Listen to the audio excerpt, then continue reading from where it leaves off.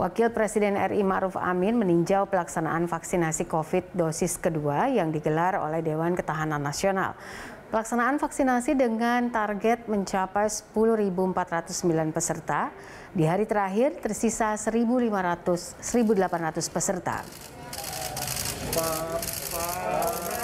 Sesjen Wan Tanas Laksdia TNI Harjo Susmoro mengatakan, secara umum animo masyarakat untuk mengikuti vaksinasi COVID sangatlah tinggi. Diharapkan dengan adanya vaksinasi massal dapat membentuk herd immunity agar pandemi segera berakhir. Pelaksanaan vaksinasi yang digelar Dewan Ketahanan Nasional Republik Indonesia ini dimulai tanggal 23 hingga 29 September 2021.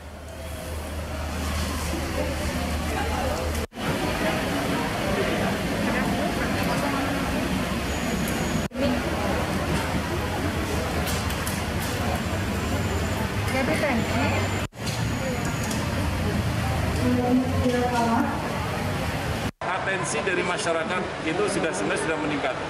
Jadi tinggal persoalannya adalah ketersediaan dari material vaksin saya. Ada Sekarang sudah divaksin, jangan berpuas diri.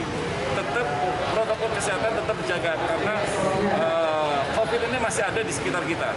Kita hanya vaksin hanya suatu ikhtiar untuk kita menimbulkan herd immunity atau kekebalan uh, sosial secara merata. Harapannya kalau tetap kita jaga kekebalan itu dengan baik, maka insya Allah kita akan bisa terlindungi dari uh, COVID.